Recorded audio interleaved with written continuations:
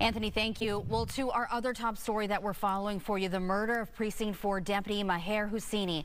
Now, Husseini was gunned down in the middle of the afternoon. This happened yesterday along Richmond and Fondren over in southwest Houston. Now, the search for the suspect led to a led us to Galveston, and then the suspected killer was in the water. Since then, he's been in the hospital in the custody of Galveston police. Fox 26's Leslie DelasBour is in Galveston with what happens next. Leslie.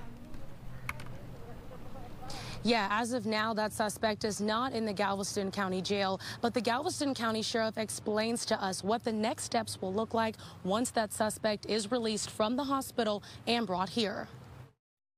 We'll do a screen test on him with a medical and make sure all the paperwork's correct.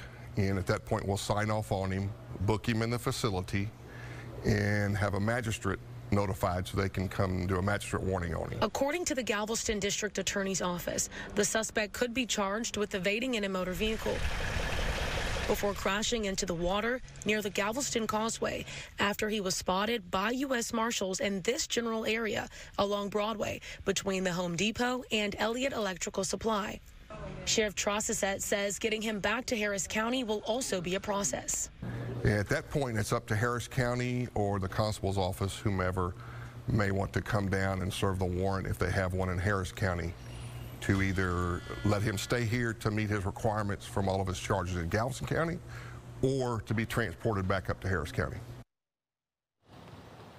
Now, the Galveston County Sheriff says if Harris County would like their help in transporting a suspect back, they will do so. And at 6, I'll have more on those possible charges and what those penalties could look like for the suspect. Live outside the Galveston County Jail, Leslie DelasBour, Fox 26 News.